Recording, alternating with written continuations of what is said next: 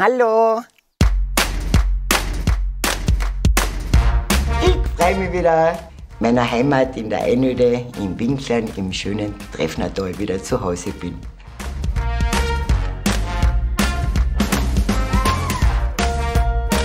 Ähm, Politik hat mir eigentlich nie viel bedeutet. Also ich habe mich mit denen nie, weiß ich wie, auseinandergesetzt. Äh, für mich waren immer die Menschen, die dahinter sind, wichtig.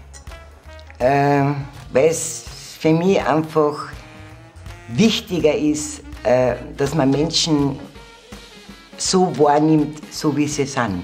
Nicht das Blabla, sondern wenn man, man muss einfach wissen, halt, da kann ich umgehen, da werde ich angehört und da werde ich wahrgenommen und da werde ich geschätzt. Und das ist ähm, ganz, ganz wichtig bei einem Politiker. Ähm, dass, er, dass er da ist, wenn man ihn braucht.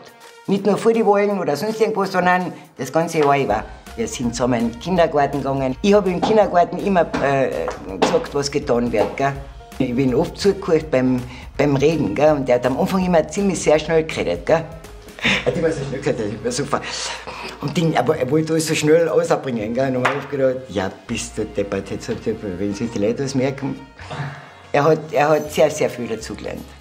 Ja, weil man einfach sieht, dass es in Treffen funktioniert. Also, dass er sich sehr einsetzt für alle, dass er, dass er bemüht ist, äh, sein Bestes zu geben mit alle zusammen.